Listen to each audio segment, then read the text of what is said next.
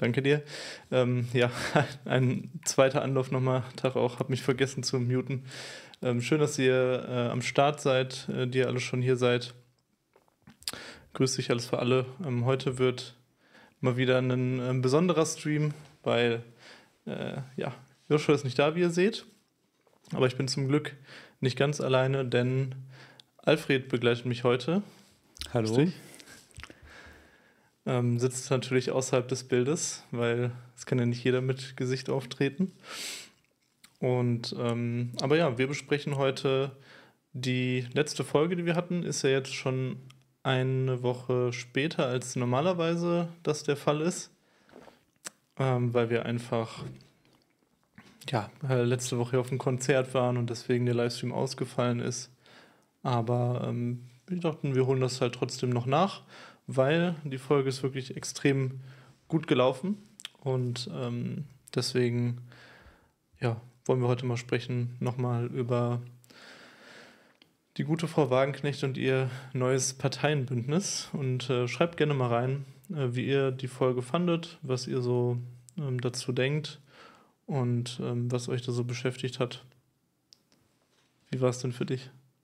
Ja, ich äh, war auch äh, positiv überrascht, dass die Folge so gut gelaufen ist, dass so viele sich das angehört haben und dass es, also zumindest ich habe das bei YouTube verfolgt und gesehen, dass da also auch eine ganze Menge an Kommentaren gab und auch von ganz unterschiedlichen Leuten. Also jetzt, ich denke mal, über den engen Kreis von irgendwie anarchistisch-kommunistischen ähm, Szene hinaus.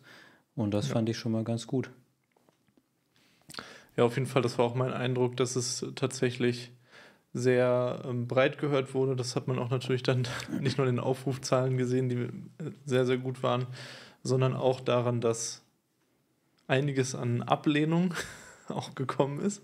Speziell auf YouTube hatten wir sehr, sehr viele äh, Kommentare, die dann ähm, tatsächlich sehr kritischer Natur waren.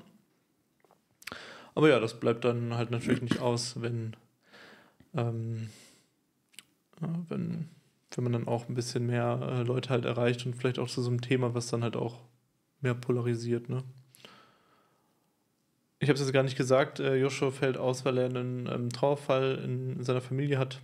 Genau, deswegen ist es ganz kurzfristig äh, leider so.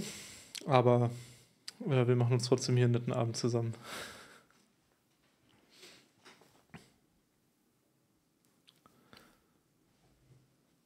Ja, Leute. Hat niemand die Folge gehört oder was? Also äh, schreibt gerne, wie ihr sie fandet. Ich bin auf jeden Fall so, so inhaltlich sehr zufrieden gewesen ähm, mit, der, mit der Ausgabe. Es war, ähm, finde ich, eine, eine echt schicke, gelungene Aufnahme, wo, wo wir das Ganze nochmal gut so zusammengefasst haben aus unserer Perspektive. Und vielleicht ja auch den, den Artikel, den du geschrieben hast, auch so ergänzt haben, gut mhm. nochmal.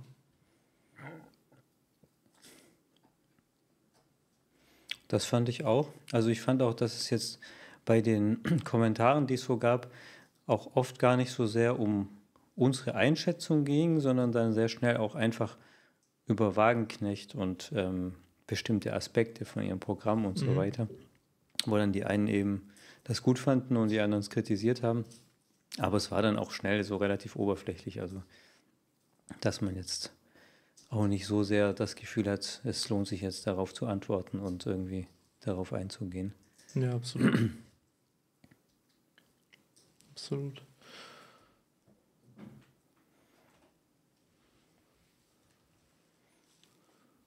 Ja, das ist ja spannend, Leute, dass hier niemand eine Meinung zu dieser Folge hat. Ich guck mal ganz kurz. Ob ich hier.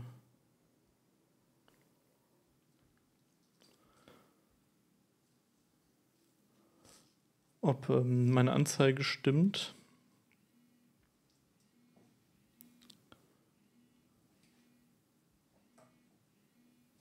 Bekommst du einen Anruf? Mhm. Kann ich ja kurz reingehen? Ja, ja, geh ruhig ran.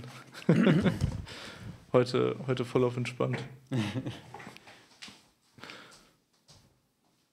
Ist ja eh nicht so viel los hier heute, wa?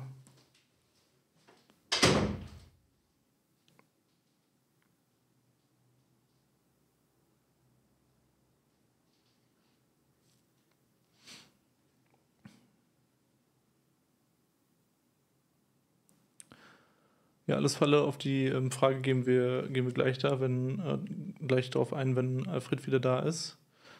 Äh, grüß dich heißt, schön, dass du da bist. Wir sind hier noch ein bisschen am, am Eingrooven heute. Heute alles sehr klein und ähm, ohne Joshua, wenn Joshua nicht da ist, bricht immer alles zusammen anscheinend.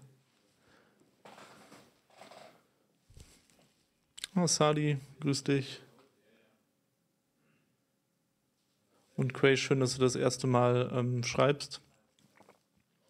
Ja, auch wenn es den Anschein hat für euch, die jetzt neu dazugekommen sind, ich bin ähm, tatsächlich nicht alleine heute, sondern äh, Alfred, unser Gast von der 115. Folge zum ähm, Thema ähm, Bündnis Sarah Wagenknecht ist auch dabei. ist nur gerade am Telefonieren. Und ähm, er tritt ja nicht öffentlich mit Gesicht auf, deswegen wird es halt so sein, dass man nur mich sieht und hier ist eine große Fläche des Nichts und er sitzt dann da.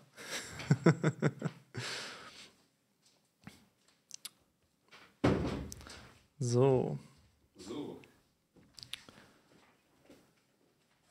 Ja, also die Frage ähm, von Alles für alle war, ob wir nochmal auf die Unterschiede zwischen BSW, Werteunion und AfD äh, genau eingehen können.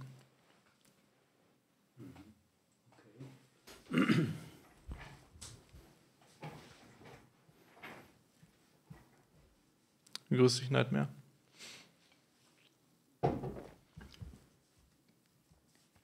Also, Willst du anfangen? Oder? ich kann gerne anfangen. Ja. Also ich finde halt erstmal generell, dass das halt, was man einfach sagen kann, die Werteunion und die AfD sind ja ganz klar rechts ähm, aufgestellt und sind auch von, von der politischen Rechten her im Prinzip entstanden und da sehr stark verortet mit. Und BSW ist halt sehr klar aus der Linken äh, erstmal verortet und deswegen hat es auch, denke ich, in der, also was ja auch äh, ähm, der Maaßen selber jetzt gesagt hat, worin sich jetzt die Werteunion als neue Partei gegenüber der AfD und BSW unterscheidet, war ja, dass er halt gesagt hat, okay, man ist sich halt in der Kritik ähm, dieses ähm, ja, das, der aktuell vorherrschenden äh, nationalistisch-liberalen Hegemonie ist man sich eben sehr, sehr einig, aber dass man äh, ja halt andere Wege geht. Und ich glaube, was die auf jeden Fall recht, recht stark zusammenbringt, diese drei Parteien, ist halt generell wirklich diese Kritik am liberalen Nationalismus, wie er gerade ist. So an, an der Ampelpolitik, an der Ampelregierung, an so Sachen wie Wokeness und was weiß ich. So, da sind die ja sehr, sehr stark dabei. Aber sie haben halt alle drei sehr unterschiedliche, schon sehr unterschiedliche Vorstellungen, damit umzugehen. Wobei ich jetzt sagen würde, dass die Werteunion und die AfD nicht so viel trennt. Ja, also würde dem zustimmen. Ähm,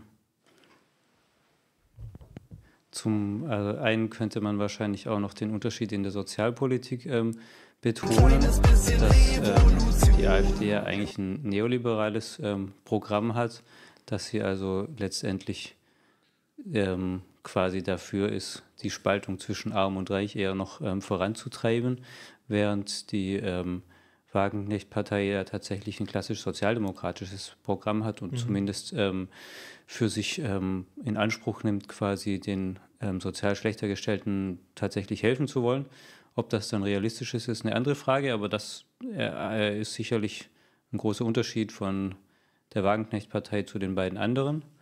Und ähm, ich denke auch, dass der, dieser Nationalismus ähm, schon bei AfD und ähm, Werteunion sehr viel stärker ausgeprägt ist. Also den gibt es bei der Wagenknecht-Partei natürlich auch, aber jetzt solche Pläne ähm, von dieser massenhaften Remigration, dass man also tatsächlich ähm, Millionen von Leuten wieder außer Landes bringen möchte und so weiter, das ist jetzt bei der Wagenknecht-Partei, davon ist nicht die Rede. Also die mhm. wollen zwar schon die Migration irgendwie beschränken, aber nicht, also so, solche Vorstellungen haben die nicht.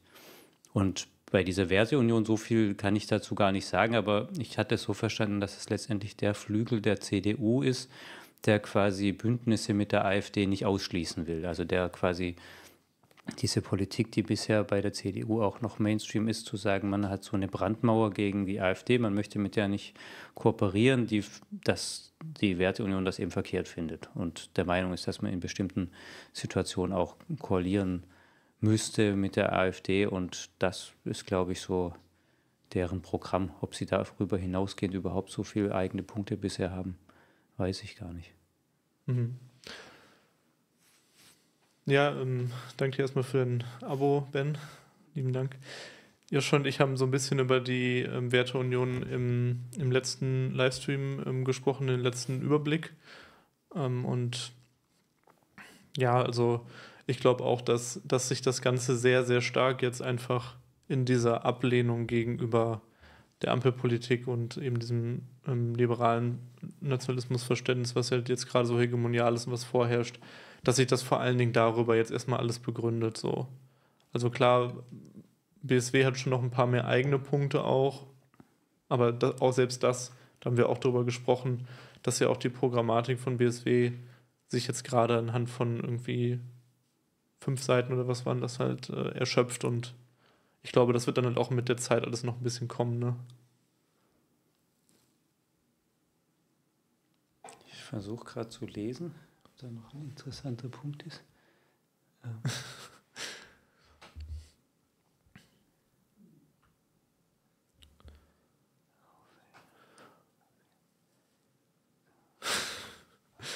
Kann man das noch ein bisschen drehen hier lesen? Ja, warte.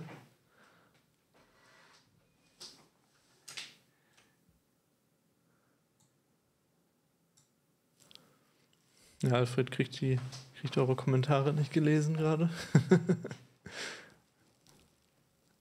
Aber ich glaube, jetzt klappt's. Ja, ja, ja. Genau. Ähm, aber schreibt gerne weiter rein, was ihr, ähm, was ihr zu der Folge noch gehalten habt, was ihr für Fragen habt, die aufgekommen äh, sind während dem Hören. Oder was generell eure Meinung und Gedanken ähm, zum BSW sind. Willst du noch eingehen auf das, was Nightmare geschrieben hat? Mm, nee. ich habe gerade überlegt, aber im Wesentlichen würde ich es, glaube ich, auch so sehen.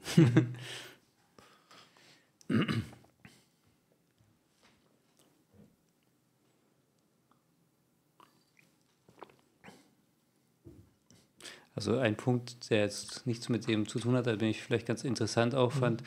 Es gab ja ähm, eine Diskussion auch teilweise darum, dass die ähm, das BSW ähm, eine recht strikte Aufnahmepolitik hat. Also dass sie quasi nicht jeden in ja, ihre Partei aufnehmen, sondern dass sie da genau hingucken und mit den Leuten reden und checken, was sie für eine Vergangenheit hatten und so. Und das wurde teilweise auch so ein bisschen als Beleg dafür angesehen, dass sie eben so autoritär sind und quasi mhm. das Wagenknecht und ihre Getreuen da die Fäden nicht aus der Hand geben wollen und solche Sachen.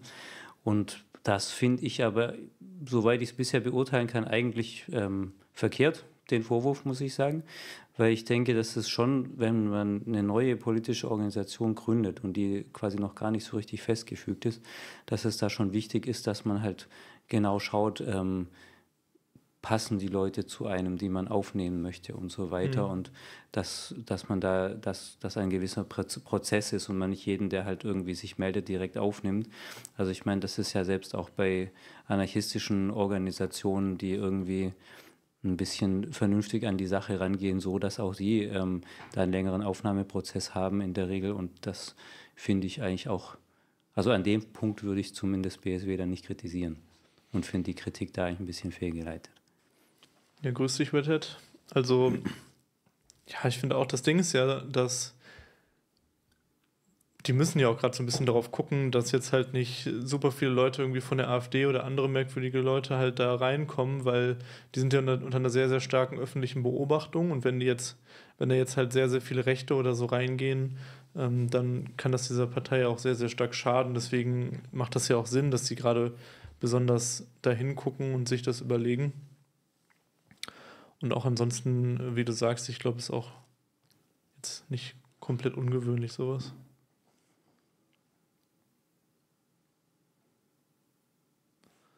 Dann hat mir meint, dass sie wollen nicht den gleichen Fehler wie die AfD machen. Ja, die hat sich ja auch dann über die Zeit halt sehr, sehr stark gewandelt ne? und hatte am Anfang ja eine ganz andere Programmatik oder zumindest in, in vielen Punkten. Und äh ja, das stimmt vielleicht, wenn da die äh, Gründungsmitglieder ein bisschen besser drauf geschaut haben, wer, hätten, wer da eintritt und so weiter, hätten sie vielleicht da eine andere Linie durchhalten können. Aber dann wären sie vielleicht auch nicht so erfolgreich geworden. Mhm. Also ich glaube, dass gerade eigentlich diese, diese sehr nationalistische, ähm, völkische ja. Richtung gerade die ist eigentlich, die den Zuspruch bringt und dass so diese rechtsliberalen Professoren, die da ganz am Anfang das Sagen hatten, jetzt auch nicht wirklich so die, die Massen eben für sich begeistern konnten. Ja, sieht man ja auch, ne, wie die wie die AfD von, diesem, von dieser Entwicklung profitiert hat in den Umfrageergebnissen. ähm, das ist, denke ich, augenscheinlich, dass, dass man dann auch, dass halt diese Leute, die halt am Anfang diese AfD geprägt haben, ja auch durch die Entwicklung her rausgedrängt wurden. Und das ist vielleicht auch was, was wir in der Folge zu BSW nicht so ganz äh, besprochen haben, dass nur weil es jetzt gerade so ist, wie wir es jetzt ange, ähm, angesprochen haben und, und thematisiert und analysiert haben, heißt es ja nicht, dass bestimmte Positionen sich nicht auch nochmal wandeln oder, oder verstärken können. Also wenn jetzt halt beispielsweise so eine in Bereichen von so Migrationspolitik es eh schon eine, eine fragwürdige Grundausrichtung gibt, dann ist ja auch der Weg dafür geebnet, dass es hier nochmal zu einer Verschärfung dieser, ähm, dieser Linie und dieser Politik in, in auch Schlechte hinein auch geben kann über die Zeit, weil wir leben ja gerade eh in Zeiten von so einer absoluten Polarisierung des Diskurses nach rechts und ja, ist halt die Frage, ob das jetzt BSW genauso mitmacht, dass man halt auch so ein bisschen auch am lautesten dann noch mitschreien will im Thema der mhm. Migration mhm. oder was.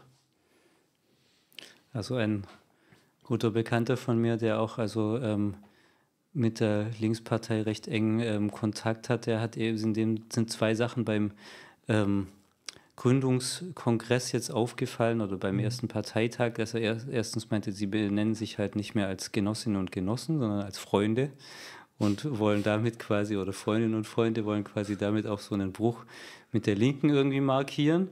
Mhm. Und das fand er halt ähm, eigentlich nicht gut, weil er meinte, dass sie quasi damit auch so ihre Herkunft so ein bisschen verleugnen und letztendlich das auch quasi eine Offenheit für alle möglichen problematischen Entwicklungen, die du jetzt schon benannt hast, Marian, auch ähm, öffnet. Und der andere Punkt war, dass sie eben auf eine ähm, äh, Frauenquote verzichten bei ähm, irgendwelchen Ämtern und so mhm. weiter. Und auch das fand er halt ähm, problematisch. Hat man jetzt auch gemerkt, ne? Also ist, ich glaube, in den Top-Listen ist, glaube ich, irgendwie eine Frau noch dabei. Und da habe ich irgendwie so einen Kommentar gelesen, ja, es sind halt mehr Alexanders als mhm. äh, Frauen.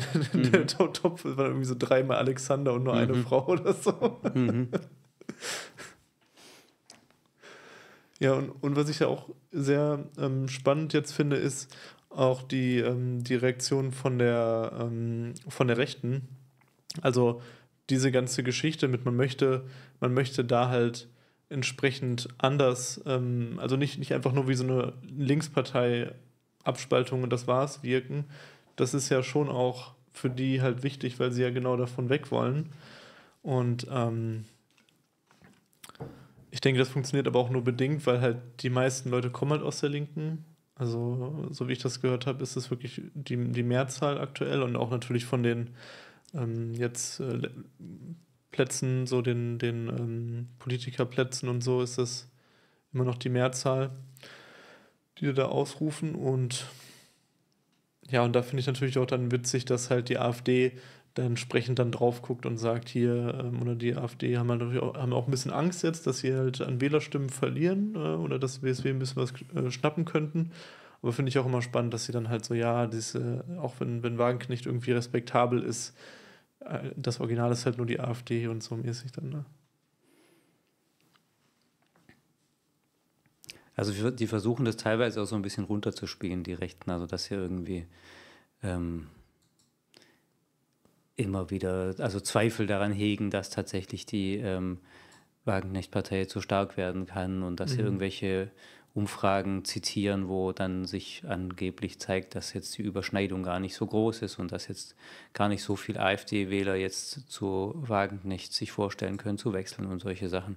Das ist, kann ich jetzt nicht so beurteilen, weil diese Umfragen auch immer sehr vage sind und sich auch schnell ändern und so weiter. Aber ich hatte so jetzt von, was ich von Rechten gelesen habe, eher den Eindruck, dass sie das versuchen, ein bisschen runterzuspielen. Mhm. Es ist ja auch total unklar, was jetzt daraus wird. Ich weiß nicht, ob ich das auch schon in der, in der Folge selbst meinte, aber ich glaube gar nicht. Aber die, die ganzen Umfragen, die es gibt jetzt, wo, wo BSW dann schon mit berücksichtigt wird, die schwanken halt immer zwischen so 4 und 20 Prozent oder so. Also das ist halt auch komplett wild. ich glaube, da gibt es auch immer noch so eine Unterscheidung bei den Umfragen, dass gefragt wird, ob man sicher eine Partei wählen will, mhm. möchte oder ob man sich das vorstellen kann. Und das erklärt dann teilweise auch so diese weite Bandbreite, dass dann vielleicht 20 Prozent sich das vorstellen können und 4 Prozent sind sich schon sicher oder was. Aber trotzdem ist natürlich alles sehr, sehr offen erstmal. Ja, Sally fragt, ähm, ob es überhaupt sinnvoll ist, sich mit BSW zu beschäftigen, weil es gerade, weil es ja auch sein könnte, dass dabei nichts bei rumkommt. Ich meine, wir haben das jetzt am Ende der Folge gesagt, dass es sein kann, dass es einfach ein Rohrkrepierer ist. Aber das ist ja, das war jetzt nicht eine prinzipielle Annahme, dass das so wird, sondern es ist eine Möglichkeit. Und dann wäre natürlich viel gesprochen um nichts. Aber Wagenknecht ist halt einer der beliebtesten Politikerinnen Deutschlands. So, ich weiß nicht, auf welchem Platz die gerade steht. Und ähm, sie, das ist halt allein deswegen schon eine relevante Entwicklung auch für, für das linke Milieu, weil ähm, ja, es halt eine Abspaltung aus der Linken ist. Es ist halt deswegen auch schon eine Beschäftigung wert für uns als Revolutionäre, als Revolutionärinnen, weil es jetzt auch vielleicht viele ähm, Freunde, Genossen, Genossinnen, Aktive unterschiedlicher Art gibt, die, die dann teilweise auch vielleicht liebäugeln mit diesem Projekt und dann ist es halt auch einfach wichtig, da argumentieren zu können und ja, es ist ja auch eine Top-Nachricht immer. Also über BSW wurde ja jetzt sehr viel und ausgiebig auch in normalen Nachrichten berichtet und ich denke, das ist dann wichtig, eine Position zu, haben. Ja, denke ich auch. Also das Parteiensystem ist ja insgesamt im Umbruch gerade und ähm, da ähm, ändert sich viel und das ähm, bildet ja in gewisser Weise auch gesellschaftliche Umbrüche ab und ähm, wenn man in dieser Gesellschaft ähm, politisch wirken möchte, dann ist es halt wichtig, dass man das, ähm, das Umfeld kennt, in dem man sich da bewegt und wie du auch schon sagtest, Marian, gerade für Diskussionen unter Kolleginnen und Kollegen oder im Freundeskreis ist das natürlich wichtig, dass man jetzt nicht nur so ganz abstrakt irgendwie eine antikapitalistische Position hat und sagt, ja, ist doch eh alles scheiße. Mhm. Damit kommt man halt auch dann nicht so weit in der Diskussion, sondern es ist dann schon wichtig, dass man auch etwas konkreter benennen kann. Was ist, sind denn jetzt, ähm, was ist denn jetzt das Übel an der Linkspartei oder an der Wagenknechtpartei und so weiter und so mhm. fort je besser man sich da auskennt, desto besser kann man ja auch irgendwie mitreden. Ja.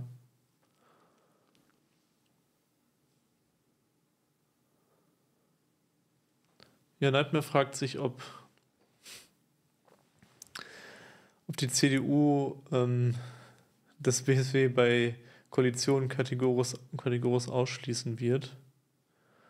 Es ist halt wirklich schwer zu sagen. Also ich glaube, das ist auch da kann man auch keine richtige Vorhersage treffen, denke ich.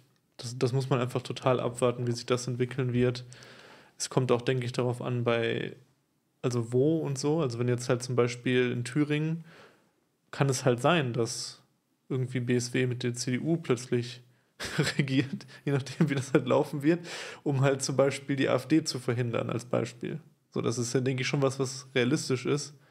Aber ich glaube halt erstmal, glaube ich das nicht, dass sie das machen, wenn dann nur unter so ganz speziellen Bedingungen wie jetzt zum Beispiel in Thüringen.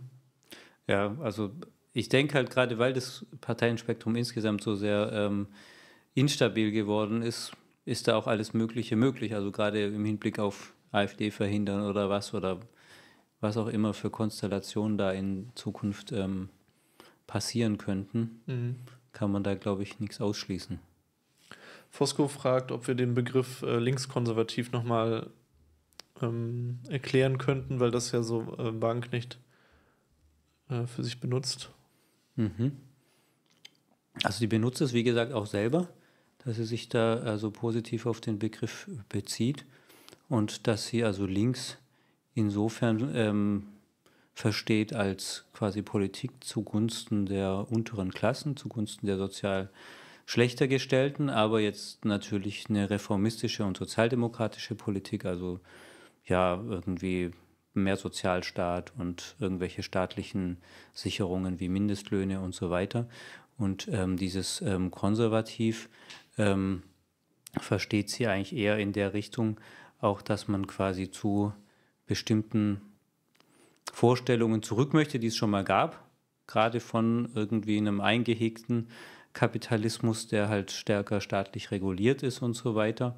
Und das ähm, wird dann ja auch teilweise so kritisiert, als das Leute sind, die quasi dem ewig gestrigen anhängen, die Reformverweigerer sind und so weiter. Und ich glaube, da bezieht sie sich, da will sie das irgendwie umwenden und sagt, ja, okay, wir sind dann in dem Sinne auch konservativ, dass wir halt ähm, das bestimmte Dinge bewahren wollen. Und auch insofern konservativ, dass sie sagt, es ist ja wichtig, dass man eine gewisse Identität hat und dass man also, ähm, das kann auch eine nationale Identität sein. Also dass sie sagt, dass es wichtig ist für eine Gesellschaft, die einen Sozialstaat hat und die irgendwie eine gewisse Art von Solidarität hat, dass man den Armen auch hilft und so weiter, dass es da wichtig ist, dass es auch so eine gemeinsame Identität gibt.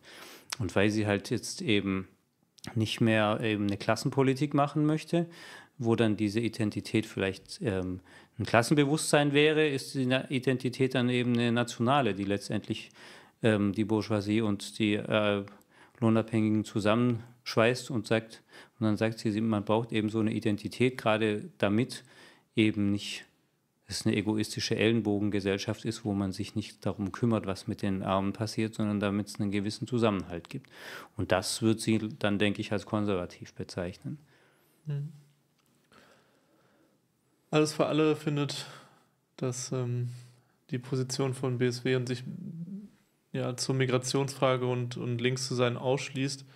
Und ich finde auch, natürlich haben wir auch gesagt, so dass es keine, keine linke Position ist und dass es eine, eigentlich eher eine rechte Position ist, die dort vertreten wird und dass halt BSW auch so eine Mischung ist aus Positionen, die man eher in der linken und eher in der rechten verortet. Also zum Beispiel beim Thema äh, Friedenspolitik, so da ähm, haben wir auch so ein bisschen herausgearbeitet, dass ähm, da BSW halt eigentlich auch vielleicht mittlerweile sogar eine konsequentere linke Position vertritt als jetzt die Linke.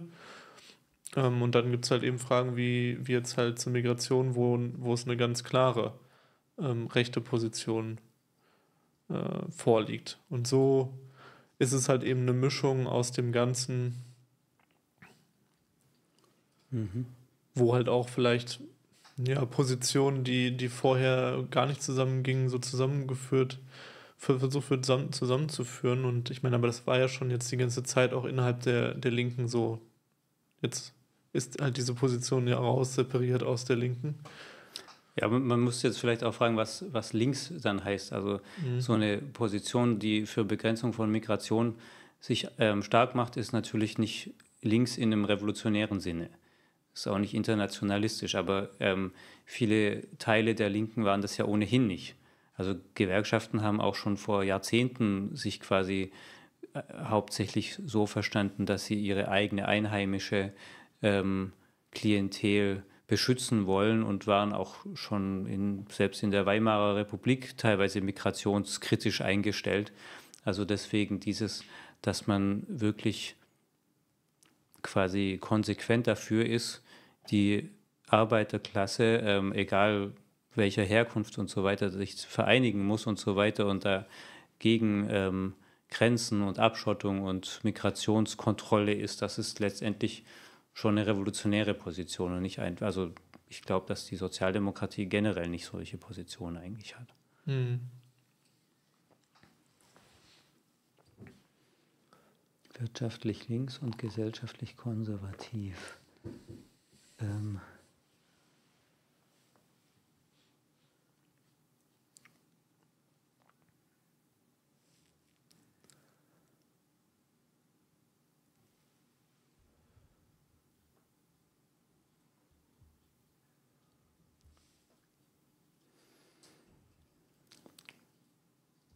Ich bin gerade am Überlegen, ob ich dem so zustimme. Also, dass jetzt die, ähm, das BSW zum Beispiel wirtschaftlich links ist und gesellschaftlich konservativ. Ähm, in gewisser Weise ist das vielleicht so, aber ich glaube, dass. Ähm, ja. Am Ende des Tages ist ja eigentlich die Wirtschaft auch ein Teil von Gesellschaft, oder? Ja, das, also das, das sowieso. Ähm, Noske-Vibes, okay. ähm, ja, für Noske-Vibes würde ich sagen, da bräuchte man halt eine revolutionäre Bewegung, weil also Noske ist ja dafür bekannt, dass er halt die revolutionäre Bewegung halt wirklich sehr brutal und gewalttätig hat niederschlagen lassen und dafür mit ähm, den faschistischen Freikorps und der Reichswehr zusammengearbeitet hat. Und ob jetzt Wagenknecht in so eine Rolle schlüpfen würde, weiß man nicht. Vielleicht wäre es so, aber das würde, da, dafür müsste es eben eine revolutionäre ähm, Bewegung geben, die es jetzt in dem Umfang zurzeit nicht gibt. Da gibt es nichts, was man gerade blutig niederschlagen ja, ja. kann. ähm.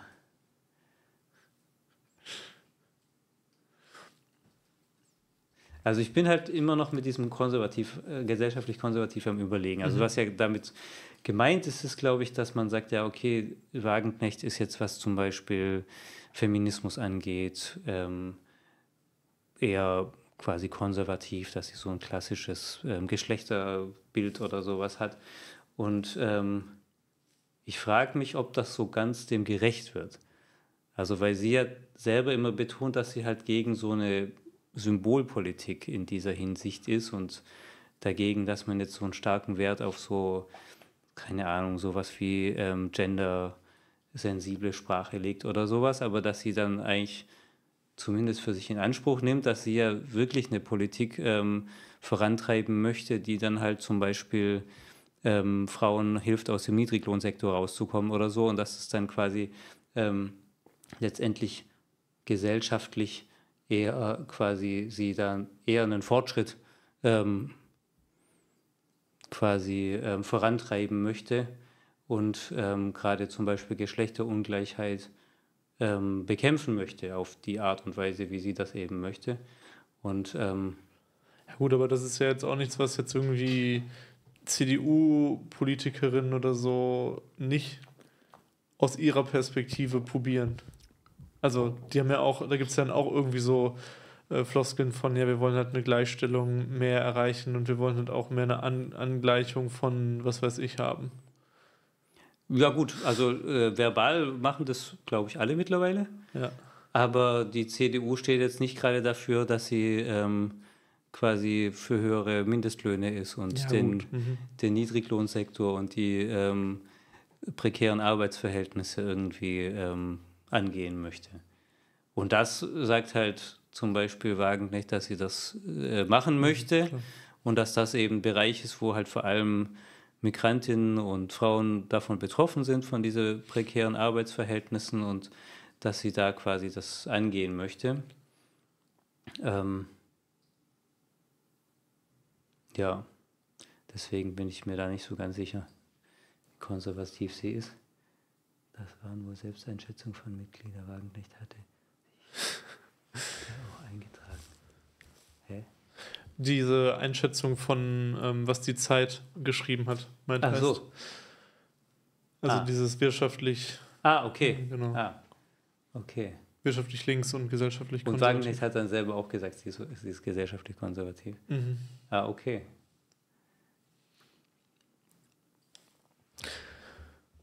Gut, Leute, was hat euch noch ähm, beschäftigt an, an der Folge? Was beschäftigt euch noch zum BSW? Ähm, schreibt gerne noch mal rein. Ähm, vielleicht gibt es ja auch noch was, was, äh, was du irgendwie im, im Nachgang ähm, vermisst hast.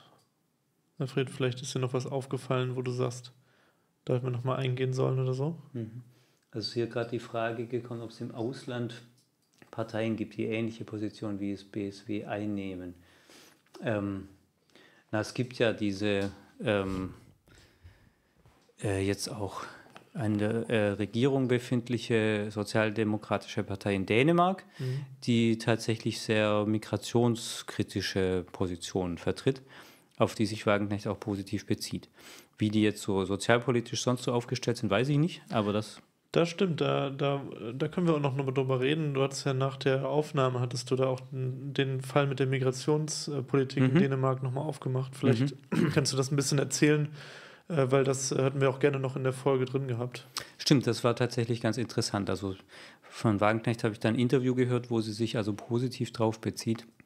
Da, oder erstmal führt sie eben aus, dass es ein Problem ist, dass wenn sich so ähm, Ghettos bilden, dass in bestimmten Stadtvierteln halt mehrheitlich ähm, äh, Menschen mit Migrationshintergrund leben und ähm, auch mehrheitlich arme ähm, Menschen und dass das quasi dann die sozialen Probleme verschärft, auch in den Schulen zum Beispiel und so weiter.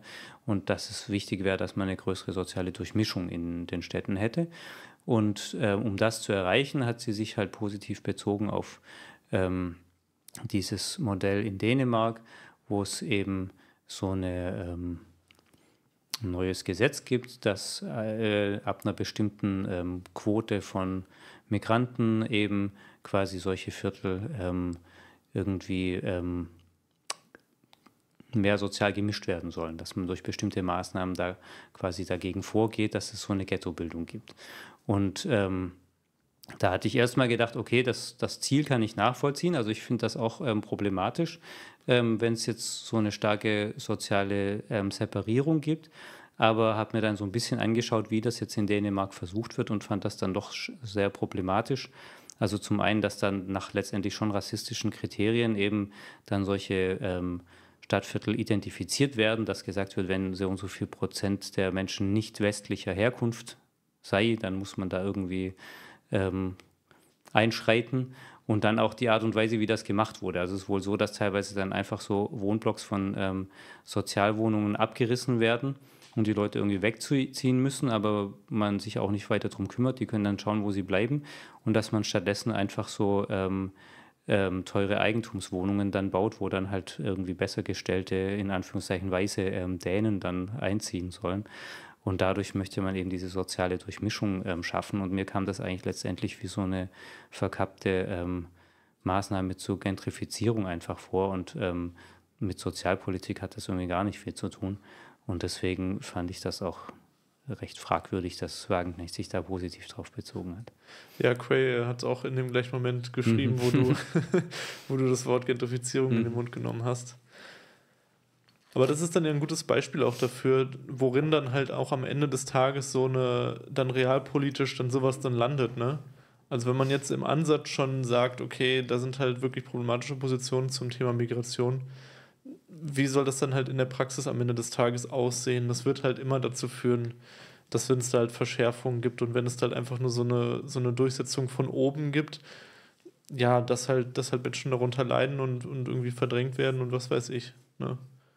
Also Nightmare Reality schreibt, dass diese Segregation ja ähm, nicht Migration, sondern ökonomische Gründe ähm, zur Ursache hätte.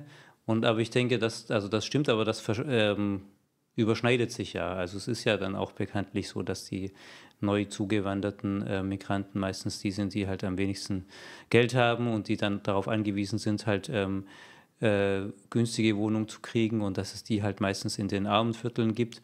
Dazu kommt dann oft auch noch eine rassistische Einstellung von Vermietern, die einfach Leute, die halt einen ausländisch klingenden Namen haben, nicht ähm, einladen zum, ähm, zur Wohnungsbesichtigung und so weiter.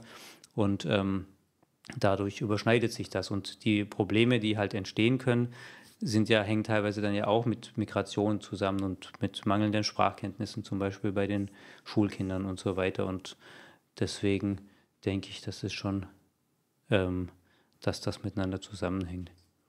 Also in, die, in ihrem Buch, ähm, Die Selbstgerechten, hat ähm, Wagenknecht sich da auf eine Praxis aus den USA bezogen, die ich da schon sinnvoller fand. Und das ist das sogenannte Busing, also dass man quasi ne, für einige Jahrzehnte halt mit Schulbussen ähm, Kinder aus ähm, den ähm, Innenstädten, die halt hauptsächlich von Schwarzen bewohnt waren, dann ähm, in andere Stadtviertel gebracht hat am Stadtrand, ähm, äh, um dann in Schulen zu gehen, wo halt hauptsächlich Weiße waren und auch umgekehrt, also dass man dadurch versucht hat, in den Schulen so eine Durchmischung zu schaffen.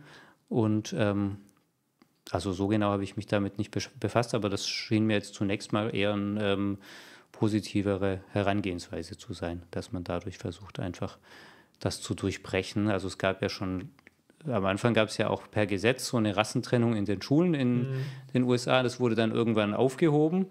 Aber das war dann faktisch trotzdem noch eine Trennung, weil sich einfach, äh, was die Wohngebiete anging, das eben so auseinanderdividiert hat, weil die weißen Mittelschichtsfamilien dann halt ins Umland der großen Städte gezogen sind. Und dadurch hat man halt versucht, durch dieses Schulbussystem quasi da eine größere Durchmischung zu schaffen. Und sowas scheint mir jetzt eher irgendwie sinnvoll zu sein. Ich weiß nicht, ob das jetzt das Problem so jetzt zur Gänze löst, wahrscheinlich nicht, aber es wäre zumindest ein Ansatz. Das ist sehr interessant, höre ich auch zum ersten Mal. Mhm. Das ist ja, das ist ja immer das Problem bei diesen, bei diesen großen Fragen. Also diese, diese Frage der Migration lässt sich halt einfach nicht befriedigend im, im Kapitalismus lösen. Das ist, das ist ja auch am Ende des Tages das, worauf wir auch in der Folge immer wieder darauf zurückgekommen sind. So, wo wir halt gesagt haben, okay, es gibt vielleicht bestimmte Punkte, wo Wagenknecht oder sogar einige Punkte, wo Wagenknecht halt irgendwie recht hat mit, mit was sie halt sagt und was sie halt kritisiert und was sie halt anspricht und so. Ähm, aber diese Lösungen, die halt dort angeboten werden, sind am Ende des Tages auch keine, weil sie halt das Problem nicht an, den, an der Wurzel packen können. Und halt, klar kann es dann mal sein, dass, dass man jetzt zum Beispiel mit so einem, wenn, wenn man jetzt so eine Schulbusgeschichte macht, dass es so eine punktuelle Verbesserung auch geben kann mal. Aber das, wie soll das halt jemals halt ähm, die Klassenunterschiede lösen, in der sich halt die Menschen, die halt hierhin ähm, flüchten oder die halt hier nicht ähm, nicht, äh, äh, ja, von, also einfach von anderer Herkunft sind, was weiß ich. Oder in, in, ja, wie soll das das jemals auch, wie soll das das jemals einfach so beenden? Das, da müssen ganz andere Maßnahmen kommen. Das auf jeden Fall. Also es wird halt auf individueller Ebene so ein gewisses Maß an Chancengleichheit äh, eben oder Chancengleichheit nicht, aber die Chancenungleichheit vielleicht ähm, ein gewisses äh, bisschen verringern, weil mhm. es ist mhm. ja jetzt bekanntlich so, dass durch das Schulsystem ähm, die Leute, die sowieso schon aus besser gestellten Familien kommen, halt ähm, extrem ähm, bevorzugt werden und die, die halt aus schlechteren Verhältnissen kommen, werden benachteiligt. A, weil die Eltern ihnen jetzt nicht helfen können, B, weil sie kein Geld haben, um Nachhilfe zu bezahlen, C, weil sie eh in Stadtvierteln wohnen, wo die schlechtesten Schulen sind, die schlecht ausgestattet sind und so weiter und so fort. Und ähm, deswegen ist es ja so, dass also in Deutschland die, der Bildungserfolg extrem von der sozialen Herkunft abhängt. Ja. Und durch solche Verfahren könnte man das halt vielleicht ein bisschen lindern, aber es ist schon klar, was du sagst, dass man das nicht, ähm, also innerhalb dieser Verhältnisse nicht überwinden kann. Apropos äh, Bus, ist mir gerade ein, ein eine gute Verbildlichung davon nochmal eingefallen. Und zwar, es gibt vom, ähm, vom Phoenixsee, was so ja, eine der reichsten Gegenden in Dortmund ist, ähm, wo halt auch die ganzen Fußballspieler und so vom BVB wohnen, ähm, zum Nordmarkt, was halt so eine der ärmsten äh, Gegenden in Dortmund ist, gibt es eine direkte Busverbindung. Und ich bin äh, irgendwann mal jetzt vor, vor einem äh, Monat oder so bin ich den Bus mal gefahren das erste Mal auch. Ich bin jetzt nicht so häufig am Phoenixsee. und das ist wirklich abgefangen gewesen, weil ne, zuerst, ich saß halt wirklich vom Phoenixsee an nur mit Weißen im, im Bus und umso näher ich der Nordstadt kam, umso mehr ähm, äh, waren halt eigentlich dann irgendwann nur noch so migrantische Menschen oder mit, mit, mit Migrationshintergrund irgendwie im Bus. Und ähm, das ist so ein bisschen eine Versinnbildlichung, weil ja, die Leute, die halt sonst, die halt üblicherweise am Phoenix hier wohnen, die fahren halt erstmal auch gar keinen Bus. Mhm. Die, haben halt, die haben ja gar nicht die Notwendigkeit, Bus mhm. zu fahren. Und die, die ganzen reichen Kinder, die, die halt dann, ähm, die können auch einfach ins, aufs Internat gehen oder so und dann müssen die sich gar nicht abgeben mit halt ähm, den proletarischen Kids. Und erst wenn es halt weder ähm, reiche Kinder noch arme Kinder gibt, sondern wir alle reich sind, erst dann kann man das überwinden. Ne? Mhm. Wobei man sagen muss, also mit dem Phoenix hier, dass das gerade auch für die ähm, ärmeren Leute aus der Nordstadt gerade am Wochenende ein extrem beliebtes Ausflugsziel ja, ist. Also dass da also viele dahin pilgern und quasi, das ist ja auch so, dass man den Reichen da ja. quasi in den Vorgarten oder in ihre Villen reingucken kann, weil die da sich so um den See herum platziert haben und irgendwie das auch für die Leute aus der Nordstadt interessant ist, sich das einfach anzuschauen und deswegen das auch beliebt ist, da halt spazieren zu gehen. Ja, man tritt ja meistens gerne ähm, noch nach unten und guckt ehrwürdig nach oben, mhm. was die Reichen und schön machen. Ne? Mhm. das ist das Problem.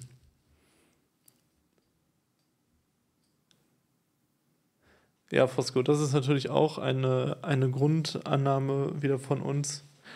Deswegen, ne, da, das ist vielleicht auch ein bisschen ermüdend dann, dass wir zu so einem Thema und dann halt auch bestimmte Grundpositionen, die wir halt haben, dann nur wiederholen. Ich denke, wir haben hier deutlich mehr gemacht. Also wir sind ja jetzt nicht so die Art von, von Anarchisten, die einfach nur sagt, ja, es ist halt eine Partei, deswegen ist das irgendwie doof und ja, die wollen halt auch nicht den Kapitalismus abschaffen, deswegen irgendwie doof. Wir haben ja schon ein bisschen mehr gesagt. Aber ja, auch das ist es halt auch. Also da schreibt gerade jemand was, was ähm, mich interessiert, wo ja. ich gerade drauf eingehen würde. Sorry. Also der arbeitet an einer Schule mit sogenannten Migrationsanteil von 85 Prozent und kann nicht sehen, dass biodeutsche Schüler besser oder unproblematisch in der Schule sind und so weiter und so fort. Ähm, ja, ich arbeite an einer ähnlichen Schule und ich ähm, würde auch nicht sagen, dass biodeutsche Schüler per se besser oder unproblematischer sind, aber ich denke halt, dass es schon ein Problem ist, wenn sich in bestimmten Schulen halt soziale ähm, Schwierigkeiten häufen. Oder allein schon sowas, dass man halt, dass ganz, wenn ganz, ganz viele Kinder sprachliche Probleme haben, dann ähm, kann man das als ähm, Lehrer einfach schlechter auffangen. Wenn es jetzt einfach zwei, drei Kinder gibt, die jetzt schlecht Deutsch können, dann kann man die halt irgendwie zusätzlich fördern und kann ähm, dadurch das dann auch relativ schnell ausgleichen und hat da eben bessere Möglichkeiten. Aber wenn das jetzt die Hälfte der Klasse zum Beispiel betrifft, dann ist das schon ähm, schwieriger. Und ähm, dazu kommt noch, ähm, dass halt generell, finde ich, wichtig ist, dass es so einen sozial, äh, so, so einen Austausch gibt, also dass man halt auch kind, Kinder außerhalb des eigenen Milieus kennt. Und zwar für beide Seiten. Also es ist ja auch so, dass wenn jetzt die, die Rich Kids sozusagen nie mit ähm, den Ghetto-Kids äh, zu tun haben, dann denken sie sich da wunder was, das für schlimme Monster sind. Und wenn sie aber halt selber irgendwie jemand kennen, der jetzt auch aus der Türkei oder aus Tunesien oder was auch immer stammt, dann merken sie halt, okay, das sind auch Menschen, die jetzt ähnliche Probleme haben wie wir auch oder was. Und das hilft, glaube ich, und umgekehrt auch. Also, ähm, ich weiß nicht, zum Beispiel war ich mit vor einigen Jahren, als da diese ähm, äh, Fridays for Future Bewegung gerade ihren Höhepunkt hatte, war ich auch mal mit einer Schulklasse eben da aus der Nordstadt, hauptsächlich Kinder mit Migrationshintergrund und die haben das, denen ist das aufgefallen, dass diese Fridays for Future Bewegung so in Anführungszeichen eine deutsche Bewegung war, von deutschen Mittelstandskindern. Und die haben sich da auch so ein bisschen fremd gefühlt und haben halt irgendwie das Gefühl gehabt, das sind nicht Leute von uns und haben sich da so ein bisschen nicht ähm, willkommen geheißen gefühlt quasi. Und ähm, das mag jetzt erstmal so ein kultureller Gegensatz sein, aber ich glaube, dass sowas könnte ja auch besser aufgebrochen werden, wenn das Schulsystem nicht so separiert wäre. Und deswegen denke ich, ist es jetzt, ähm, ja, also kommt eben darauf an, wie man das auffasst, aber ich denke schon, dass diese Segregation insgesamt problematisch ist. Ja, ähm, Steph, schön, dass du erstmal mitschreibst. Wie meinst du das mit, ähm, du kriegst 350 Euro mehr zu deinem Lohn? Also im Sinne von, die Asylpolitik ist scheiße, aber der, das Lohnniveau ist höher in, in Dänemark oder wie? Ja, ich war auf einer ähm, Gesamtschule,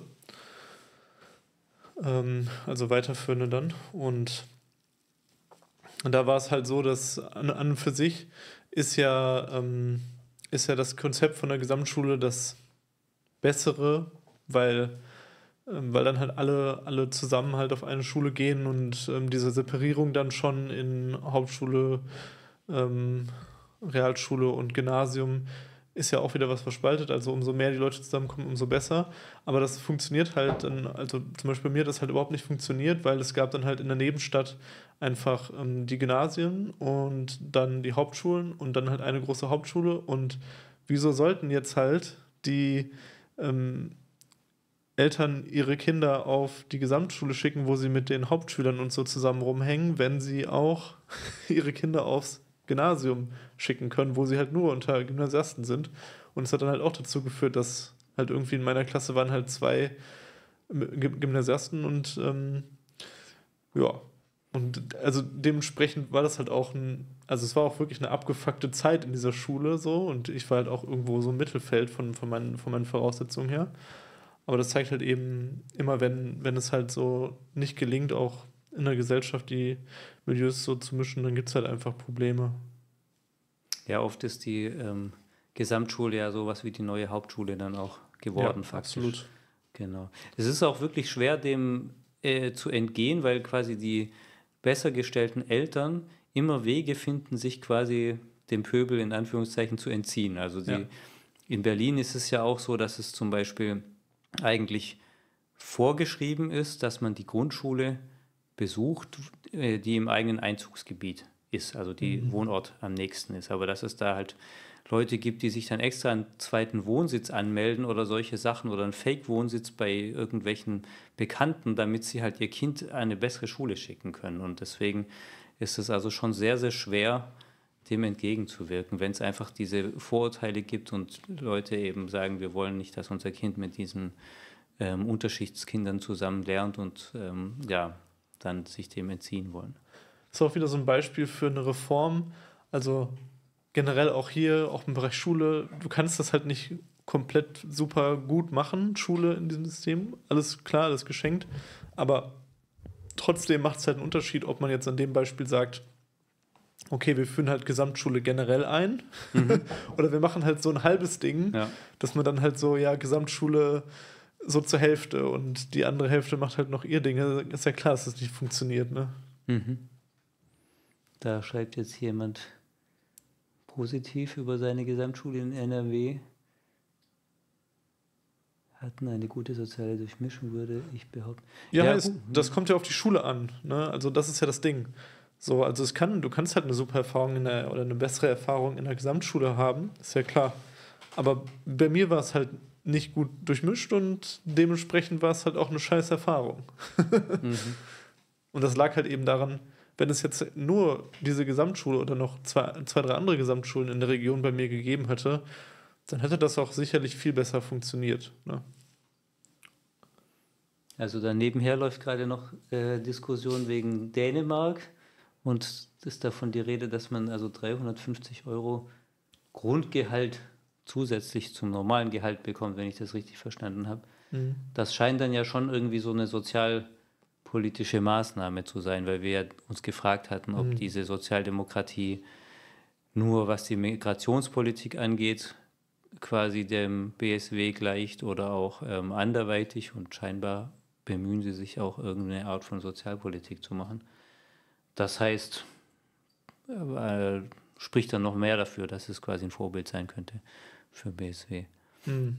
Ja. Aber das war ja generell auch die Frage, ob es auch andere Parteien gibt, die quasi da irgendwie ähnlich sind. Und ähm, also Wagenknecht selber bezieht sich zum Beispiel auch positiv auf diesen ähm, Sanders mhm. aus den USA, ähm, der ja auch so ein linker Sozialdemokrat quasi war und von dem sie zum Beispiel viel hält. Dann gab es noch diesen Mélenchon aus Frankreich, ich weiß gerade gar nicht mehr, für welche Partei der angetreten ist, aber der war auch eine Zeit lang relativ populär. Mhm. Ähm, also deswegen gibt es schon teilweise auch ähm, ähnliche Strömungen in anderen Ländern. Die aber ja auch teilweise wieder ihre besten Zeiten hinter sich haben. Das, schon, das ne? ja, auf jeden Fall. Das stimmt. ja. Ähm, ja, User 123. Äh, schön, dass du erstmal mit dabei bist beim Schreiben. Das, äh, du schreibst noch, dass sich da, dass du den Eindruck hast, dass es nicht sehr unterscheidet, die Migrationspolitik von BSW und ähm, von SPD. was da gerade umgesetzt wird. Und ich würde da prinzipiell nicht zustimmen, weil die SPD ähm, ja generell, das ist ja so absurd gewesen, dass es halt jetzt diese Demonstration gegen die AfD gab und man sich da halt hingestellt hat in die erste Reihe und da halt einen Larry gemacht hat, dass man jetzt den großen Rechtsruck hier verhindern möchte und bla und äh, parallel setzt man den halt in, eben um. Also die haben halt die Möglichkeit, den umzusetzen, im Gegensatz zur AfD und die machen es halt auch, die machen es in Brief und Siegel. Ähm, und ich denke aber auch, dass, dass es was ist, was jetzt BSW ähnlich vielleicht gemacht hätte. Vielleicht hätte BSW dann halt noch irgendwie so ein, so ein kleines Sozialprogramm noch mit dazu geschossen oder so, parallel was das Ganze dann vielleicht ein bisschen verträglicher gemacht hätte, aber am Ende, jo, das nimmt sich halt alles nix. So. Mhm. Steff PDM schreibt gerade, was Mélenchon angeht, so ist er mittlerweile pro Flüchtlinge und pro Klimaschutz. Okay, das ist interessant. Das hatte ich jetzt noch gar nicht so mitbekommen. Ähm, also was, das ist jetzt vielleicht ein bisschen eine Abweichung, aber mit diesen AfD, Anti-AfD-Demonstrationen und so weiter, diesem ähm, Antifaschismus der SPD, also das ist sowieso eine Sache, die mir schon lange eigentlich ein Dorn im Auge ist, mhm, ja. weil das eigentlich schon seit Jahrzehnten immer so ist, dass ab und zu halt so der, das, der große ähm, Zusammenhalt der bürgerlichen Parteien gegen rechts beschworen wird und gleichzeitig irgendeine Scheiße halt ähm, durchgezogen wird. Also das fing in den Anfang der 90er Jahre an, als ähm, gleichzeitig eben diese Lichterketten gab gegen rechts und so weiter, aber eben ähm, dann das Asylrecht ähm, beschnitten wurde. Das ging dann weiter Anfang der 2000er Jahre mit dem sogenannten Aufstand der Anständigen von Gerhard Schröder, der dann begleitet war mit den Hartz-IV-Reformen. Und das geht jetzt wieder weiter, dass es halt gleichzeitig ähm, Sozialkürzungen und Sparmaßnahmen gibt und ähm, die Regierung da auch irgendwie das durchziehen will, trotz Protesten und so weiter und sich jetzt aber irgendwie als die großen antifaschistischen Helden darstellen. Also deswegen war mir das immer schon zutiefst suspekt, jetzt diese antifaschistische Einheitsfront sozusagen. Mhm.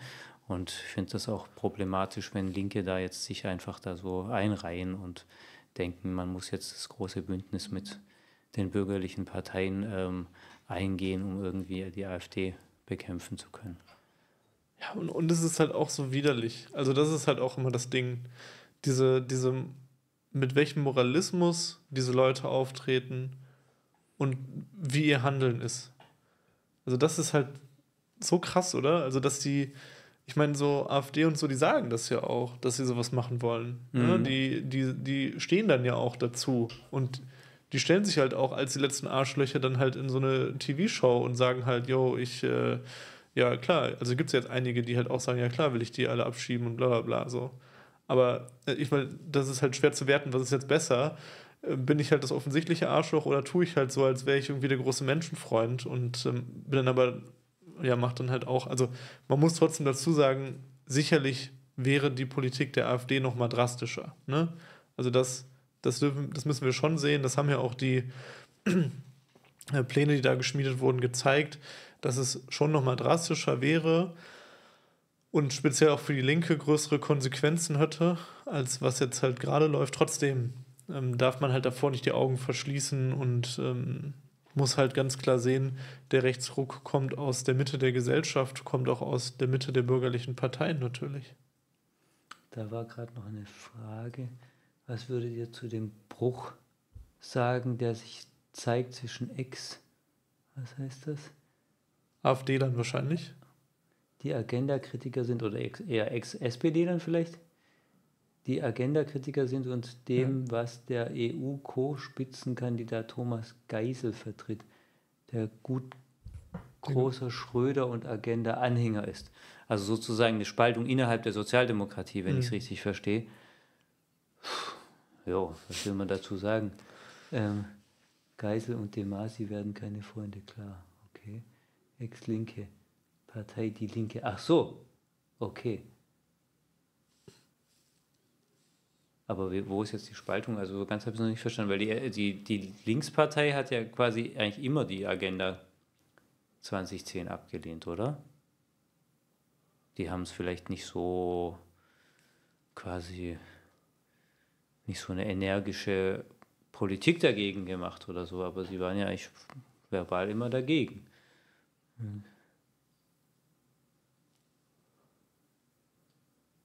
Das ist gedanklich noch im Schulalltag. Zu 100 Prozent habe ich es auch nicht äh, assoziiert jetzt, weil ich bin noch nicht auf der Höhe heute. Warte mal, mich interessiert das jetzt, was der, wie heißt der, Saad, Sade Alta. Sadi. Sali, Sadi, Sadi, Sadi. Sadi, Sadi sagt, in gedanklich noch im Schulalltag möchte gern dazu noch festhalten, dass viele angebliche Probleme von Schulpersonal herbeifantasiert sind. Es vergeht kein Tag, in dem ich nicht mindestens ein mir rassistische Vorurteile von Kolleginnen anhören muss. Wie Schüler behandelt und gesehen werden, hängt leider oft von der Herkunft des Schülers ab. Aber das ist, was du, was du schreibst, ist ja natürlich auch ein Teil des Problems. Mhm. Ich meine, das ist halt ein Riesending. Das ist ja nicht erklärt mit einer Sache, so wo man irgendwie sagen kann, ja, das und das. Sondern natürlich ist auch der Rassismus, ähm, den, den halt diese Schüler erfahren, das auch ein Problem. Weil wenn ich halt immer runtergebuttert werde, wenn ich immer angefeindet werde von der deutschen Mehrheitsgesellschaft, ja, natürlich macht das was mit mir. Natürlich drängt das mich auch an den Rand der Gesellschaft. Natürlich ähm, führt das auch, bestärkt das auch, dass ich halt dann nur in meiner Community bleibe und keinen Bock halt habe auf die deutsche Mehrheitsgesellschaft. Und ähm, natürlich äh, erschwert das auch meinen Weg halt wo, wo ich höchstwahrscheinlich eh schon einen schlechteren Stand materiell gesehen halt habe, weil nun mal Menschen mit Migrationshintergrund in der Regel ähm, über weniger Ressourcen verfügen, einfach niedriger stehen in der Klassenzusammensetzung und das kommt dann natürlich halt noch dazu, wenn da werden mir halt einfach Steine in den Weg gelegt durch die Rassisten und so, ist ja klar. Also das stimmt. Ich glaube, es gibt halt, also es gibt reale Probleme im Schulbereich. Es gibt herbeifantasierte Probleme und es gibt auch oft von äh, den Lehrkräften einen falschen Umgang halt mit den Problemen. Mhm. Also ich kann mich erinnern, dass halt Kolleginnen und Kollegen bei mir gesagt haben, ja, sie verstehen das nicht, diese Leute in der Nordstadt, also das ist eben diese Viertel, wo die Schule ist, wo halt hauptsächlich ähm, Leute mit Migrationshintergrund und ärmere Leute wohnen. Die und die Kollegen haben halt gesagt, die verstehen nicht, warum die Leute jetzt da so in diesem Stadtviertel hocken und immer unter sich bleiben und da nicht weggehen und äh, keinen Kontakt zu anderen haben und so weiter. Und die wollen immer nur unter ihrem Milieu, eben unter ihresgleichen bleiben. Und es ist klar, dass dann aus den Kindern nichts wird und so weiter.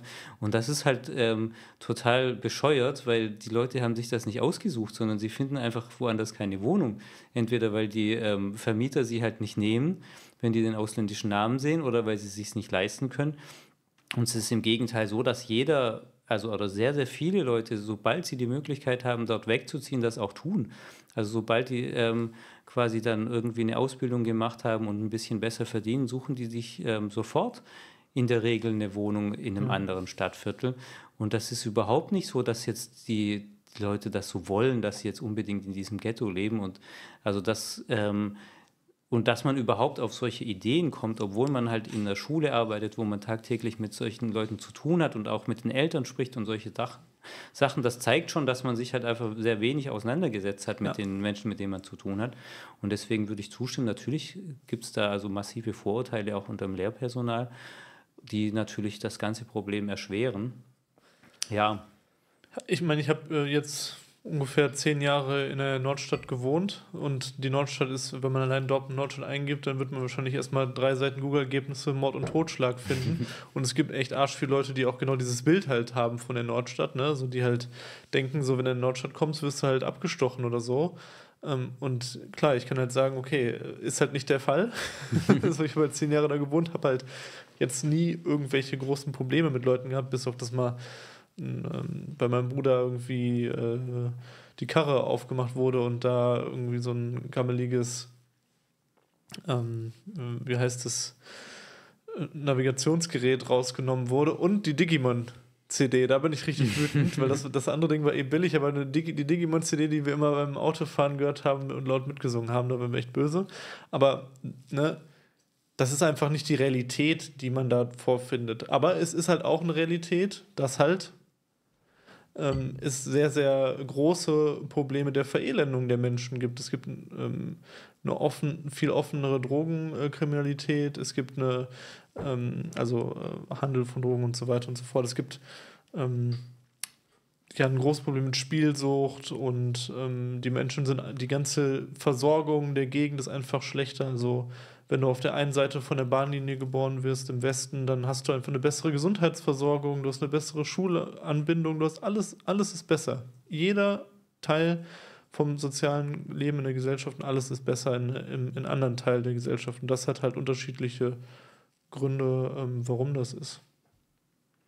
Ihr sagt noch, ähm, Steff PDM, sag doch bitte noch ja. was zu Aufstehen. Ja, zu Aufstehen ist ganz interessant. Also Aufstehen war ja so eine ja, linke Sammelbewegung, die von Wagenknecht und dann noch ein, zwei anderen so Politikern ähm, gegründet wurde. Das ist ja jetzt schon Jahre her.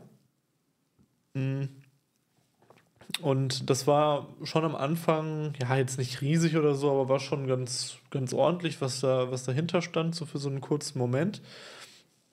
Und das war so ein bisschen ja so ein Vorläuferversuch für, oder so, ein, so eine andere Herangehensweise von Wagenknecht kann man sagen, also wurde ja auch immer vermutet, okay, das wird jetzt so der Vorläufer, wenn das halt läuft, dann wird daraus eine Partei gebildet oder so.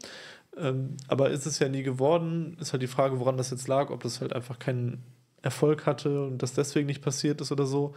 Aber ähm, ganz interessant, also wir haben, sind da auch damals, wo das, wo das gewesen ist, sind wir auch mit da hingegangen und also, ne, die meisten linke Szene-Leute in Dortmund haben halt darauf geschissen und haben halt auch das kritisiert und gesagt, das ist alles Mist und so und ähm, wenn wir nichts mit zu tun haben, so wie das halt die meisten linken, äh, linksradikalen Leute halt gesagt haben, aber wir haben da ja keine Berührungsängste oder so und probieren ja immer, wenn irgendwo Bewegung gesellschaftlich aufkommt, mit von der Partie zu sein und ja, und es gab halt bei uns in Dortmund einfach ähm, mehrere Gruppen, auch in, in, mehreren Stadtteilen, auch ein bisschen außerhalb, also nicht nur in den üblichen. Und ähm, ja, wir hatten halt eine Gruppe dann auch bei uns im anarchistischen Zentrum, die sich dort getroffen hat und mit dem wir dann auch einen Kontakt aufgebaut haben. Und ja, ich würde halt sagen, das war so eine Art von sozialdemokratischer Basisbewegung, so ein Versuch eigentlich. Also wo halt, wo es halt um soziale Politik ging, einfach auch jetzt nichts also ich weiß jetzt gar nicht mehr, was die Kritik von so linke Szene daran noch mehr war. Ich kann nicht mehr daran erinnern, weil ich das einfach, glaube ich, als so belanglos auch empfunden habe. War halt, war halt ganz, ganz okay, aber war auch irgendwie klar, dass jetzt, dass es jetzt wahrscheinlich nicht das Durchschlagende wird und das ist es ja auch geworden. Nicht, nicht, nicht so viel daraus geworden. Aber auf so einer Basisebene konnte man da sicherlich auch Leute mit erreichen und, und in Austausch erstmal überhaupt kommen und so, ne? Also ich glaube, es war eher das Problem, dass es halt quasi nicht funktioniert, eine Basisbewegung von oben zu ja. initiieren. Also das äh, gab dann zwar Leute, die sich dafür interessiert haben, aber es war dann zu wenig Drive. Mhm. Und das wäre was anderes, wenn die Bewegung jetzt selbst aus sich selbst quasi aus einem bestimmten sozialen Widerspruch entstanden wäre und sich da Leute halt von unten organisiert hätten. Dann hätte das vielleicht auch eine größere Dynamik gehabt. Aber dieses Bewegung von oben funktioniert eben schlecht. Ähm, wir äh, sprechen, äh, Fives, wir, erstmal schön, dass du nochmal das erste Mal hier schreibst. wir sprechen, haben gerade kurz nochmal über Aufstehen äh, gesprochen, was ja so die, ähm, bevor jetzt Wagenknecht die Partei gegründet hat, ja da so eine, ja, so eine linke, so ein Versuch war, so eine linke Sammelbewegung oder so, oder so eine Bewegung von unten irgendwie, von oben herbei zu konstruieren, was ja nicht funktioniert hat. Ah ja, genau. Ähm, ja, Steff, du schreibst es auch gerade 150 Leute in Potsdam und auch äh, bei dir äh, war es dann halt äh, so Sektierertum, ja, auch so dumm einfach wieder, ne? Aber da, wie gesagt, da würde ich mich jetzt halt wieder in der Tyrade wiederholen. Ja, nur weil das halt von oben initiiert wurde und Wagenknecht ganz problematisch und so, das waren ja trotzdem einfach ein bunter Mix an bauchlinken Leuten, an Gewerkschaftern, an ähm, allen möglichen ähm, Personen, die, die sich halt politisiert haben und irgendwie was machen wollten. Und warum man dann immer darauf so rumhacken muss und nicht einfach dahin geht und mit den Leuten ins Gespräch kommt und Zusammenhalt seiner Ideen dann einbringt und im Austausch ist und mit den Leuten zusammen halt kämpft, so warum halt nicht so.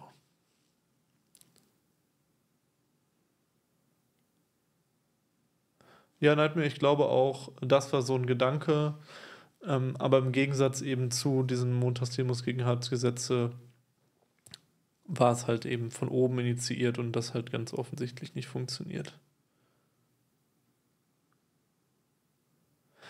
Ja, Steff, das ist auch ja eine Sache, ähm, die haben wir ja so ein bisschen in der, in der Folge auch behandelt, dass wir diese Befürchtung haben, dass jetzt halt so die radikal Linke sich so richtig hart einschießt auf BSW und irgendwie die jetzt in jedes Kaff verfolgt und irgendwie da irgendwie so eine gammelige Kundgebung, am besten noch im Dino-Kostüm oder so, äh, veranstalten.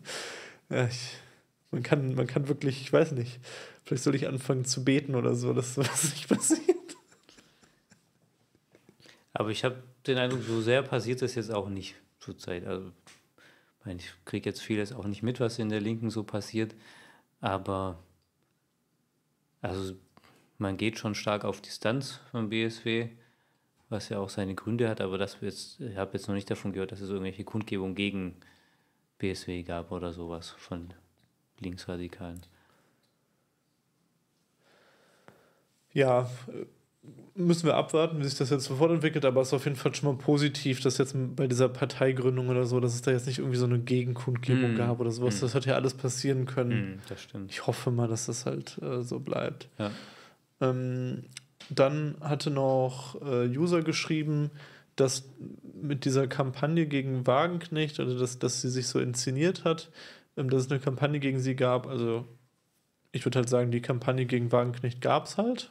Also sehr offensichtlich. Das war, finde ich, keine Inszenierung von Wagenknecht, sondern, also, ne, sie hat ja selber auch, ähm, ich, ich würde sagen, es war eher einfach so ein genereller Streit zwischen, äh, zwischen zwei Flügeln in dieser Partei. Sicherlich hat Wagenknecht auch ihren Teil äh, dazu beigetragen, aber trotzdem ist es halt eine Realität einfach, dass es, dass es eine sehr, ähm, dass, dass das schon von der anderen Seite sehr stark ausgetragen wurde und ich denke jetzt nicht, dass das von der Hand, dass man es von der Hand weisen kann.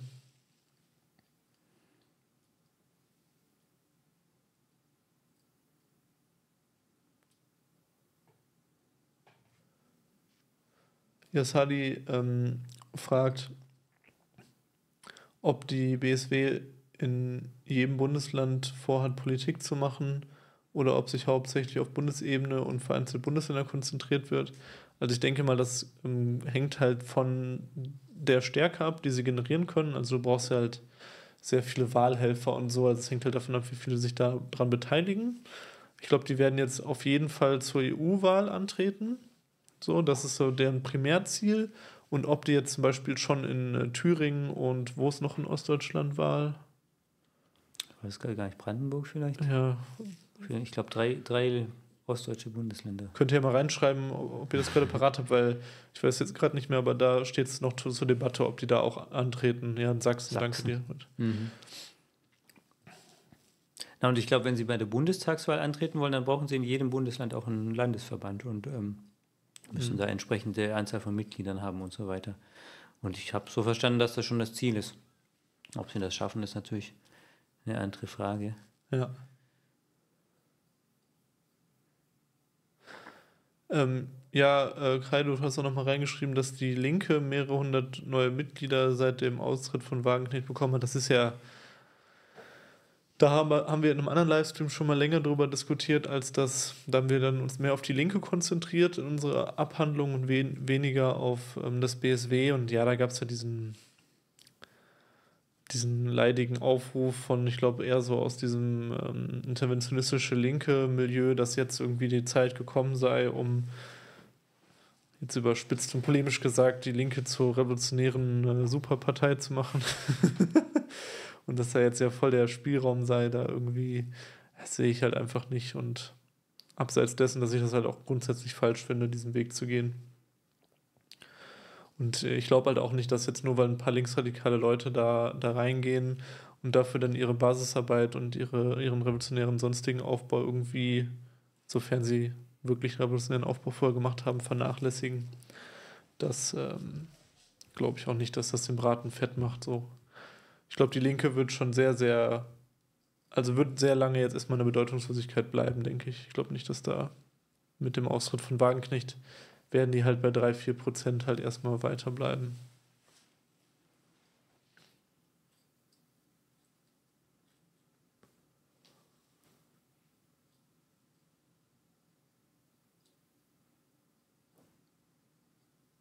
Die Leute rund um Wagenknecht sind auch so dauergekränkte Charaktere, die meinen immer zu kurz zu kommen.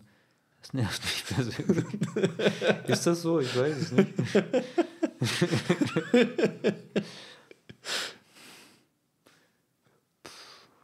ich meine, das kann man, zum einen kann man das über viele sagen. Und ich weiß nicht, ob es jetzt auf die besonders zutrifft. Vielleicht.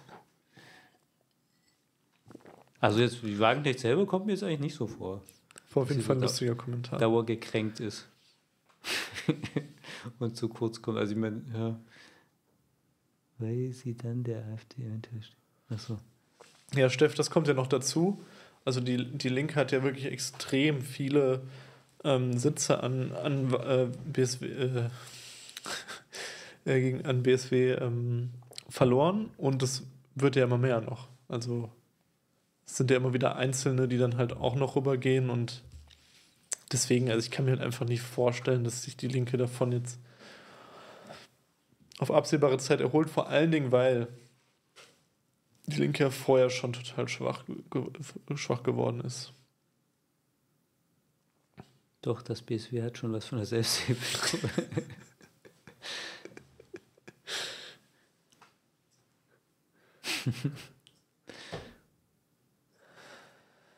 Ja, Leute, ähm, ich würde sagen, wir öffnen mal die, die allgemeine Runde. Also wir können gerne noch weiter ähm, über, über das BSW schreiben und äh, sprechen.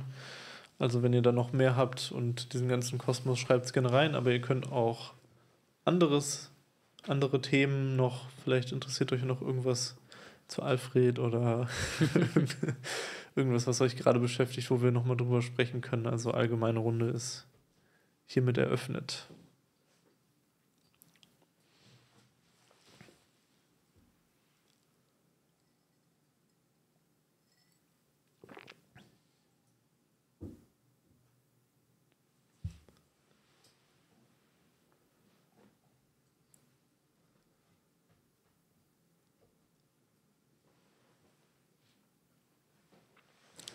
Ist ja auf jeden Fall noch eine heitere Runde hier geworden. Am Anfang niemand da und dann äh, kann man sich gar nicht retten an, an Kommentaren, die ihr schreibt.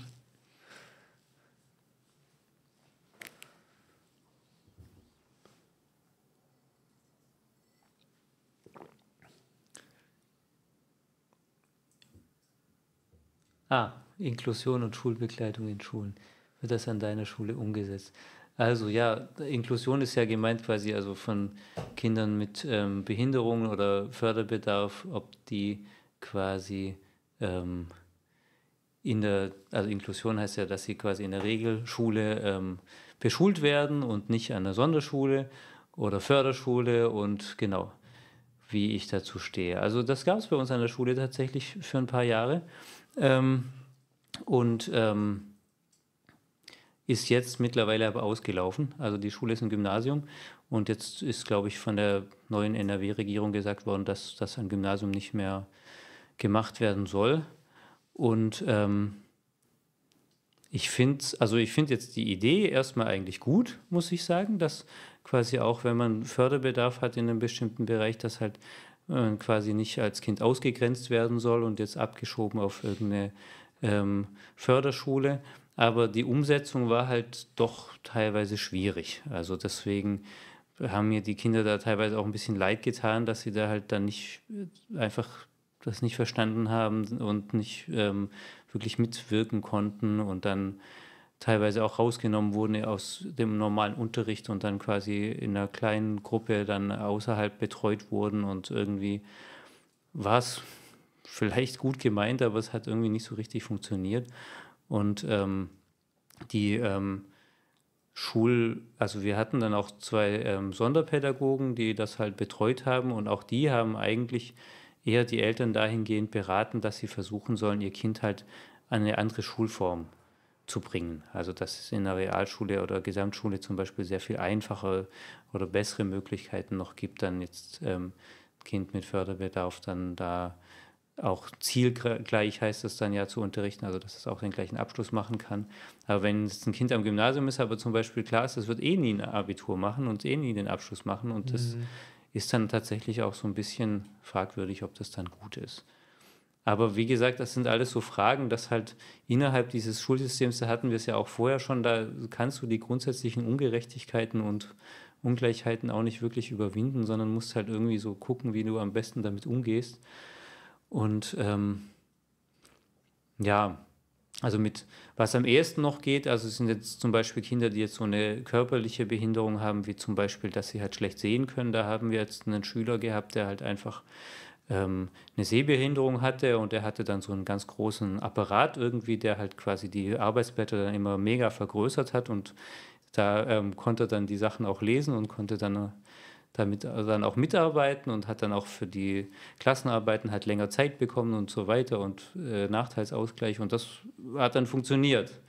Aber so bei anderen Arten von ähm, Förderbedarf ist es dann oft schwierig. Ja, grüß dich, Ole. Schön, dass du erstmal am Start bist.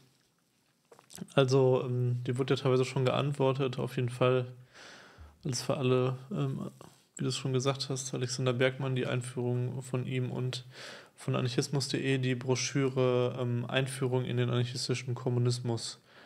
Die äh, zweiteres bekommst du auch auf der Internetseite von anarchismus.de. Einfach kannst du dir runterladen als PDF oder kannst du dir auch bestellen als Broschüre in Papierform. Hier würde noch gewünscht, ein Stream zu links sein und älter werden. Das finde ich ehrlich gesagt auch ganz gut, sowas mal zu machen. Auf jeden Fall. Finde ich eine gute Sache. Auf jeden Fall. Also generell das Thema. Mhm. Das Thema wäre super, mhm. wär super toll, das nochmal ja. das nochmal vernünftig zu behandeln. Mhm. Hätte ich auch Bock drauf.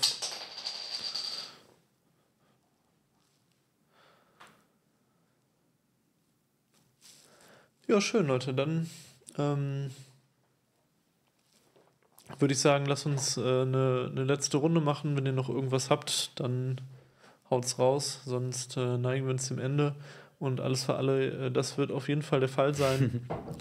Äh, dadurch, dass wir ja äh, hier eine räumliche Nähe in Dortmund haben und eh seit, seit vielen Jahren zusammen, zusammen kämpfen, sind wir natürlich äh, und uns auch nahestehen. Von, von inhaltlichen Gedanken her sind wir immer dazu geneigt, auf das große, das große Wissen und die große Expertise von dir zurückzugreifen, wenn uns mal wieder nichts einfällt. Ne?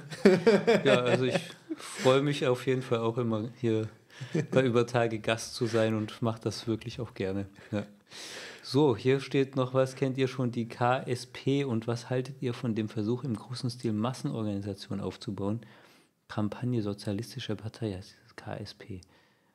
Ähm, dazu gibt es, glaube ich, eine Folge von Nächste Links Podcast. Kannst du dazu was sagen, Marian? Das sagt mir jetzt gar nichts. Tatsächlich nicht. Also ich, ich mache es einmal nebenbei kurz auf.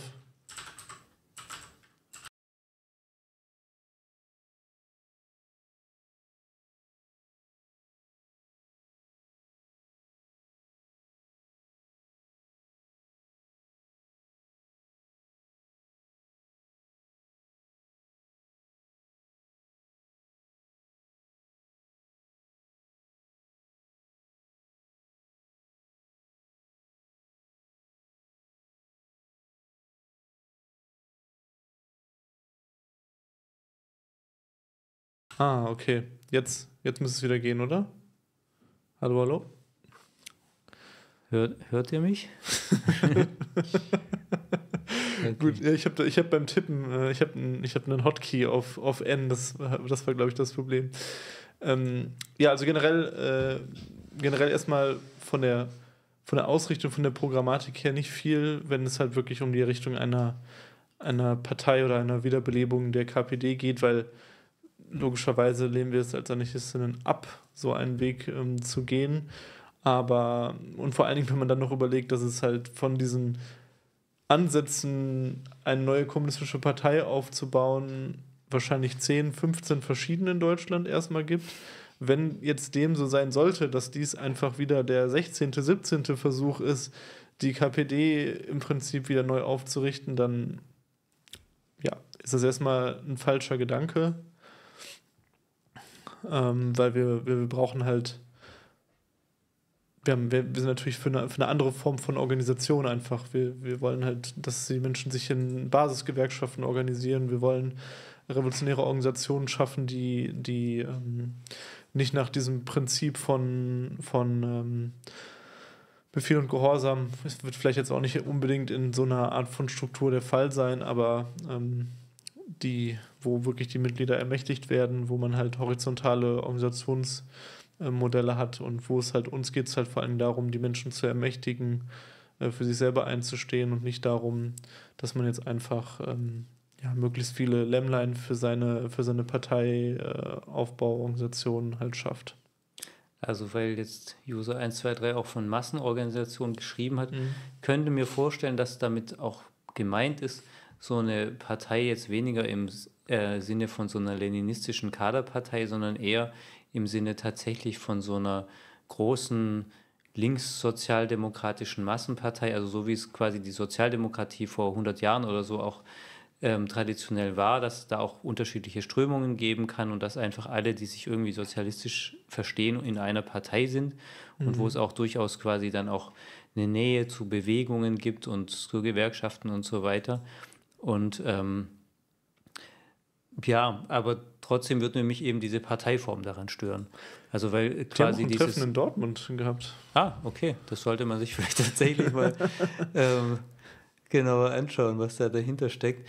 Aber ähm, die sind tatsächlich recht anarchistisch in der Strategie, steht hier. Exakt, hm, interessant. Haben eine Mietergewerkschaft aufgebaut. Okay, also wenn, ja. wenn das jetzt der Fall ist, dass, dass es, ne, wie du es jetzt ausgeführt hast und wie das ja äh, dass es halt einfach eine Begrifflichkeit da, da vorliegt, dann wäre es natürlich was anderes. Aber so oder so muss man sich erstmal angucken. Ne? Also ist halt immer schwer, jetzt was zu beurteilen. Es gibt ja auch, also selbst auch in diesem leninistischen Parteien- und, An und Organisationsspektrum gibt es halt auch Ansätze, wo ich sage, okay, die stehen halt uns näher und andere Ansätze, die uns halt weiter entfernt stehen. Oder ich finde die DKP zum Beispiel schlimmer als die MLPD im Gegensatz zu den meisten Linken oder so. Also das sind halt, ja. Äh, da muss man ja auch ja. sich alles einzeln anschauen. Aber das ist auf jeden Fall ein interessanter Hinweis. Ich glaube, ich werde mir das dir. auch mal ja. anschauen. Hier Sadi, heißt der Sadi? Fragt noch, frag an Alfred Wissen deine Kolleginnen und Kollegen, wie du politisch denkst. Oder hältst du dich da eher bedeckt? Also, ähm, ich würde sagen, ich, ich halte mich schon bedeckt, ähm, aber in verschiedenen Abstufungen. also ich rede schon mit Leuten und diskutiere auch. Und ähm, je nachdem, wie viel ich mit den Leuten zu tun habe, öffne ich mich da auch mal ein bisschen mehr. Aber ich mache es auf jeden Fall nicht so, dass ich so plakativ irgendwie, keine Ahnung, rufe, ich bin Anarchist oder ich bin Kommunist oder was, sondern dass ich halt in, wenn irgendwie Diskussionen aufkommen, dann halt versuche quasi bestimmte Standpunkte eben stark zu machen oder bestimmte Aspekte einfach zu erwähnen und so weiter. Aber ähm, ja, eher ein bisschen vorsichtig. Also vielleicht auch ein bisschen zu vorsichtig, vielleicht könnte ich da manchmal auch ein bisschen offensiver sein, aber ähm, ja, so ungefähr. Äh, ja, äh, User, ich bin auf jeden Fall, wenn ich mir das später angucke, mal gespannt, ob also du, du bist ja auch ganz neu, ob das halt, äh, ob du jetzt hier nur probierst, deinen, deinen total gruseligen leonistischen Ansatz unter das Volk zu bringen oder ob da tatsächlich was Spannendes dahinter steckt. Äh, ich gucke es mir auf jeden Fall an. Ähm, ja, noch kurz auf äh, Genosse Mapache eingegangen. Also ja, absolut. Natürlich hat die MPD äh, Sekten ähm, Sektenstrukturen, so, das kann man auf jeden Fall so sagen. Aber mir geht es halt speziell um so eine inhaltliche Ausrichtung an der Stelle. Also die MLPD hat zum Beispiel eine recht vernünftige Imperialismusanalyse und die DKP ist halt im Gegensatz dazu absolut scheußlich. Also so die MLPD hat halt kein, kein Verständnis mehr von Imperialismus, wie das, also die DKP vertritt halt im Prinzip, ja, USA ist Imperialismus, alles andere ist halt kein Imperialismus, so kurz gesagt. Und die MLPD, ähm, die hat halt, ja, ne, die hat halt ein umfassenderes Verständnis davon, die spricht halt auch vom russischen Imperialismus und so, ne? Also die, wohingegen jetzt die DKP ja ganz klar an der, an der Seite von Russland im Prinzip steht. Ne? Und das wäre jetzt halt ein gutes Beispiel, um zu sagen, okay, das eine ist halt übel hängen geblieben und das andere ist halt eine gute Position. Es ändert halt nichts daran, dass man jetzt halt, man findet jetzt deswegen nicht die MLPD gut, aber um das halt zu differenzieren und nicht einfach über einen Kamm zu stellen und auch um halt so ein bisschen, also ich stand halt selber schon mit, mit der, oder also mit, mit der anarchistischen Gruppe ähm, damals in einer, in einer Broschüre gegen Antikommunismus von der MLPD drin, dass wir irgendwie, also äh, dass wir gegen die gehetzt hätten und gegen die vorgehen würden und so. Also sie sind halt total durchgedreht. Aber trotzdem finde ich es halt auch sinnvoll, die manchmal so ein bisschen zu verteidigen, in dem Sinne, dass man das differenzierter betrachtet, weil das halt einfach so dumm ist, wie halt in der Linken damit umgegangen wird, dass halt auf jeder zweiten Demo es nicht mehr um das Anliegen geht oder, oder sonst irgendwas von, ah, da ist jemand von der MLPD und bla bla bla und dann steht halt der von der MLPD neben einem Typen von der SPD und hat der, der SPD-Fahne, aber das ist dann halt kein Problem, sondern halt der MLPD-Typ, nur weil das halt auch irgendwie Teil von Radikal Linke ist oder so. Ja. Also ich würde auch sagen, also ich hätte da glaube ich ähnlich geantwortet, dass jetzt gerade diese Imperialismus-Analyse ähm, von der MLPD halt deutlich differenzierter ist als die von der DKP und dass das sich auch auf verschiedene Positionen auswirkt. Also ich fand jetzt auch zum Beispiel, was jetzt den Nahostkonflikt angeht, hatte, also würde ich sicherlich nicht alles unterschreiben, was die MLPD dazu sagt, aber es war doch deutlich differenzierter, als das jetzt ja. von der DKP ist. Also einfach dadurch, dass sie halt ähm, nicht nur sagen, der Westen ist halt imperialistisch und schlimm, sondern sagen, es gibt eben auch andere imperialistische Mächte, die halt genauso abzulehnen sind. Deswegen haben sie auch eine sehr dezidierte Ablehnung eben sowohl der Hamas als auch Iran und so weiter, der Mächte, die halt Hamas da unterstützen. Und deswegen fand ich die Diskussion zumindest diskutierenswert. Nichtsdestotrotz würde ich ähm, die ähm, organisationsmäßige Herangehensweise der MLPD mit ihrer Parteistruktur und ihren Vorfeldorganisationen und so weiter würde ich sehr klar ablehnen. Also das ist nicht unser Politikansatz. Ich liebe es, wie oft immer diese MLPD-Frage aufkommt. Das ist halt echt, worüber wir sehr häufig reden. Das ist mir jetzt als Gast nicht so bewusst, aber. Es ist äh, immer wieder diese Fragen um zur MLPD, weil das halt so polarisiert und immer wieder eine Rolle in der Linken spielt. Ne? Aber gut, ähm, dann würde ich sagen, schließen wir mal wieder mit der MMPD heute. ja, hat auf jeden Fall Spaß gemacht, auch wenn es natürlich traurig ist, dass Joshua heute nicht dabei sein kann, aber ähm, ich weiß nicht, war zwischendurch auch witzig mit anzusehen, wie ich immer so ins Nichts gucke. Und ähm, ja, schön, dass du dabei warst, Alfred. Ja. Haben wir wieder ähm, einige, einige schöne, schöne Sachen miteinander besprochen und ähm, das ganze Projekt hier vollendet für diese Folge. Ja, und ähm, wir äh, hören uns kommenden Sonntag wieder. Und zwar haben wir, ich weiß nicht, ob du noch da bist, Nightmare, aber dein Wunsch ist ja in Erfüllung gegangen. Ah doch, du bist ja da, hast du gerade noch geschrieben. ähm, mit Antje Schrupp die Folge zu anarchistischen Frauengeschichten. Und ähm, ja, da bin ich schon gespannt, was ihr von der Folge haltet. Und Antje wird aller Voraussicht nach dann auch in einer Woche im Stream dabei sein. Also freut euch schon mal auf zukünftigen Content. In dem Sinne, macht's gut und auf bald. Glück auf. Tschüss, Glück auf.